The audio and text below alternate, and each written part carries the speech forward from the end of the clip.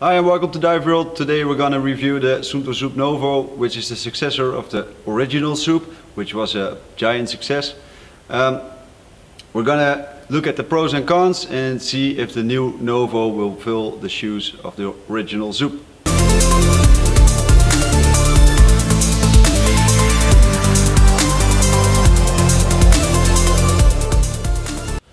The Zoop Novo has like its predecessor, the original Zoop, a big display, which is a dot matrix display.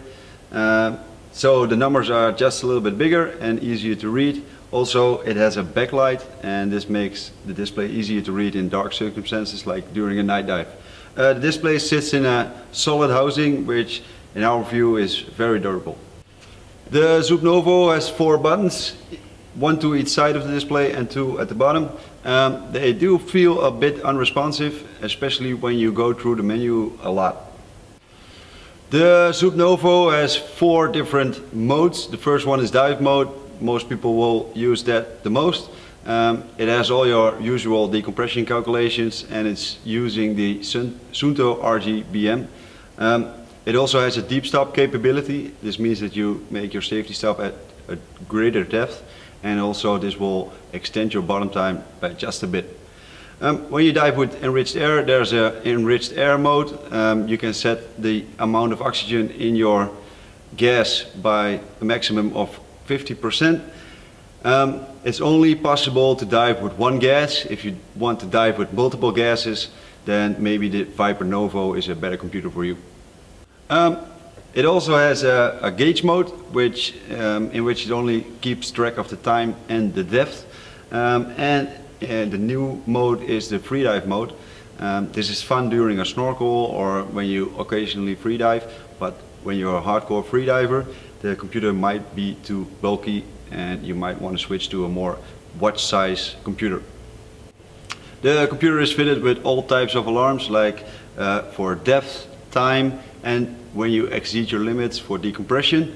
Um, it also has a big logbook which contains a maximum of 140 hours of diving and it also got a fun memory mode where um, your lifetime achievements with the computer are recorded like how many hours you've spent underwater.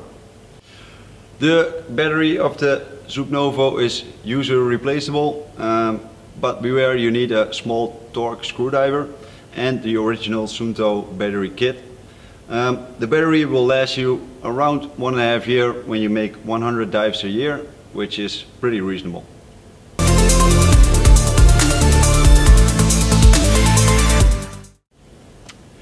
Um, what we don't like about Novo is that the USB interface is not included.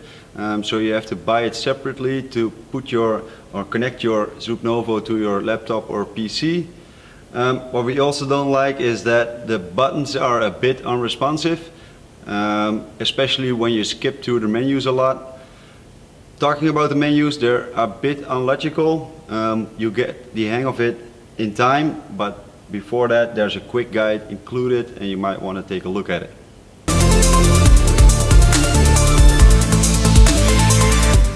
What we do like about the Zoop Novo is the big display.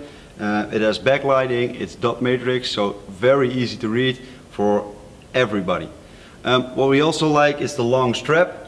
Uh, it fits over your wetsuit and any dry suit. Also the deep stop capabilities which are added to the computer with the Suunto RGBM are very nice. They will extend your bottom time by just a bit. Um, also the logbook has grown um, in comparison with the, the original Zoop. Uh, it's now 140 hours big. And what we also like is the freedive mode, which is added. Um, it's okay for a snorkel or when you go freediving occasionally. Uh, when you're a hardcore freediver, you might want to go to a watch size, but it's, it's nice that it's on there.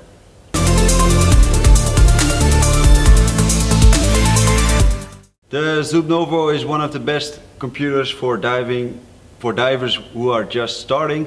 Um, the display is easy to read, it's simple to use and the pricing is excellent. So thank you for watching. Don't forget to subscribe to our channel. Also, if you like this video, please leave a like and maybe you can just put in the comments which product you want us to review next.